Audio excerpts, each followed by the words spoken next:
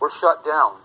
Uh, one of the things that was happening during this uh, hysteria was many, many peoples were asking, where did these people go? What happened? And all the globe saw this event, uh, or they experienced it afterwards. What I saw in people was that literally nearly everyone I experienced had a great, great look of despair and hopelessness upon their face. Everywhere I went, there was hopelessness. Nobody seemed to be happy about living. Um, you know, I've never experienced that. I've been to a lot of public places. Hi, everyone. I wanted to give you some information I got earlier today. Uh, one of you, and thank you, sent me a link uh, of a man who seems to know a lot about astronomy. And he was saying that on May 22nd or 3rd, it looks like the comet Atlas and Swan are going to not collide, but cross paths close enough to create uh, a electromagnetic force field that would cause an EMP attack in our country. So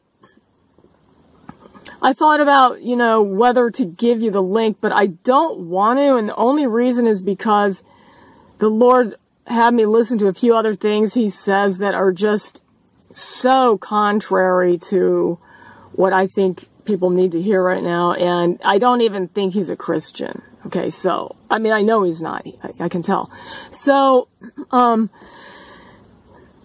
so what it reminded me of was, uh, a man named Ken Peters in the 80s saw a, had visions and dreams about the dead in Christ rising and then the, some really severe pictures of the tribulation that was going to come and this one world leader and he did not know anything about the rapture when he had these visions and he was Catholic. He didn't know much at all. So he was not born again, obviously. So, um, uh, it reminded me of that because he said that when this event happened where the dead came out of their graves, there was also an EMP attack. And I got to thinking, you know, this, suppose this was what he saw. And if this happens on the 22nd or 3rd, what really caught my attention was that on the 21st, it would be, it would qualify for um, the rapture as well as the, you know, the, you know, God pointing to the number 21. To permeate society, there was uh, a very unusual event that happened. Television uh, telephone, radio, and this other unusual communication device I was able to see into many, many homes in the United States, these white boxes that were about this big that looked to be like televisions. And were, when I saw these, they were in nearly every single home in the U.S. And uh, they would have words written across them, and occasionally it would almost look as though television was playing through them. All of those uh, media devices were shut down for about a two week period. I know now that what I was seeing was personal computers in people's homes. In 1980, I've done some studies, by the way, about all the things I saw to see if, in fact, I was hearing something from God, because I'm not about to go on national television or around the globe and share this if it's incorrect.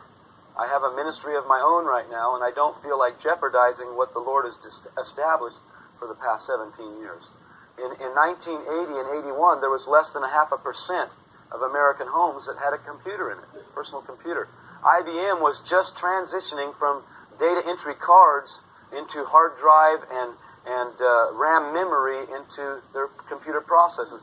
The one computer that was on the scene at the time was called a Commodore. Uh, this was in the uh, 1991 uh, Santa Barbara, California News Press paper. This has to do with a single high altitude nuclear blast by a rogue nation, which could, would bombard the continental United States with electromagnetic rays, crippling civil and military electronics from light bulbs to computers. Uh, military experts warned Congress Wednesday. Uh, such an explosion would unleash electromagnetic pulse. I'm going to move this up just a hair.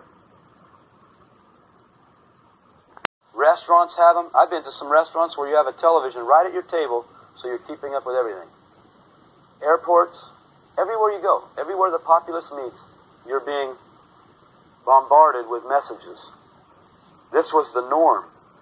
Now, what was strange about this is that this man's speeches and directions for the whole world had to do with new times upon us as human beings, new directives for global peace, and the need to give up current citizenship for world citizenship.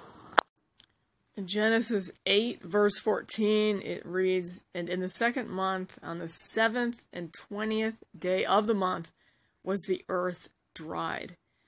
So that's 17th of the second month is May 21st on the Torah calendar. This is Iyar 27, second month, 27th day, same as May 21st.